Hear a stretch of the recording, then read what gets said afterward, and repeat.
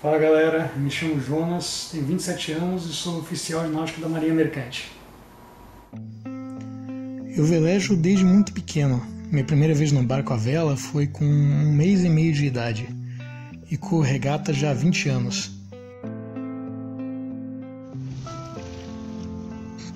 Sou de Ilhabela, uma cidade arquipélago no litoral de São Paulo, conhecida como a capital da vela do Brasil. É um lugar lindo, tranquilo e excelente para viver e treinar. Aprendi a velejar em família, com meus pais e minha irmã. Tínhamos uma ideia de fazer uma volta ao mundo de veleiro no início dos anos 2000, mas o falecimento repentino da minha mãe botou um fim a isso.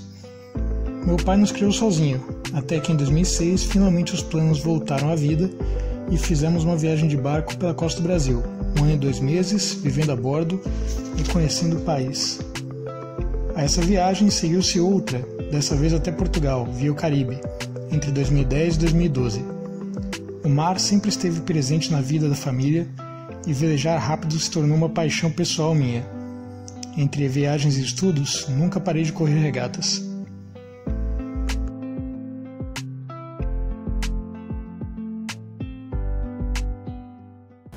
Viagens mudaram muita coisa na minha vida, tanto o jeito como eu me relacionava com as pessoas, com culturas novas, a facilidade de fazer amigos, a, a capacidade de estudar sozinho. E elas me fizeram decidir que o que eu queria da vida era isso, era viajar, velejar, conhecer o mundo o máximo que pudesse e sempre que possível por mar, que é o meu meio favorito. E também foi muito importante porque foi nas viagens que eu tive meu primeiro contato com a minha Transat. Na primeira viagem chegou a conhecer o Canchu e, se não me engano, na segunda a Isabel Pimentel, foram dois dos três brasileiros que fizeram a regata, minha Transat até hoje. E na segunda viagem a gente chegou a cruzar com a minha Transat de 2011, que estava vindo para o Caribe, enquanto a gente estava descendo para o Brasil. Então foi onde eu tive mais contato assim direto, eu sempre tinha escutado falar no meio, né? Sempre tinha achado muito bom, mas depois de ver o pessoal fazendo e conhecer gente que fez, que começou a plantar aquela ideiazinha de também quero fazer isso, sabe? Ao voltar da segunda viagem, passei alguns anos estudando em terra e entrei para a Escola de Formação de Oficiais da Marinha Mercante, a IFOM. E lá passei três anos, mais um de embarque em navios, me formando como navegador profissional.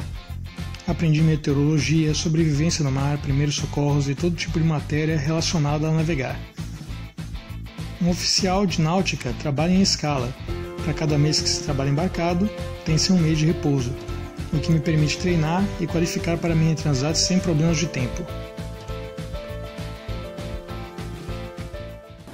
A Marinha Mercante me caiu como uma luva, um trabalho que eu gosto de fazer, que me dá o tempo necessário para os meus planos pessoais, sem eu precisar tirar um sabático para eles.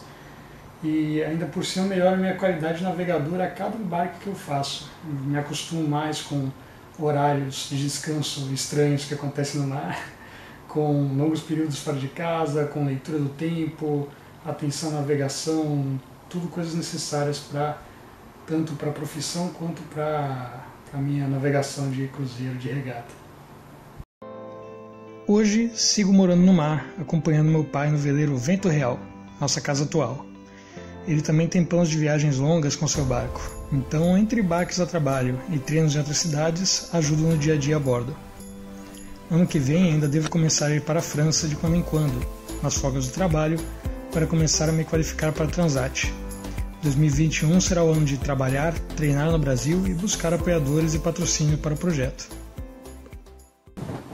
Tenho feito muita coisa em matéria de treinamentos esse ano para regata, tanto com o barco da família, o Fandango, anteriormente, agora o Vento Real, quanto com barcos iguais ao, ao barco usado para regata, a Mini Transat 6.5, em Santos com amigos, na Bahia, cheguei a correr a regata de mais de um dia lá com o Canchu, e então já é uma coisa que já dá para ir preparando mesmo esse ano, mesmo sem ter o barco. E a tendência é no final do ano ir para a França, assim que tudo se resolver aí com relação às fronteiras, e comprar um barco por lá, e aí já começar com a parte de qualificação, treinamento com o barco da regata especificamente, e seguir em frente. Até lá vai ter muita coisa, tanto aqui no Brasil e é lá mais ainda, para mostrar, para compartilhar, para contar para vocês aí de história.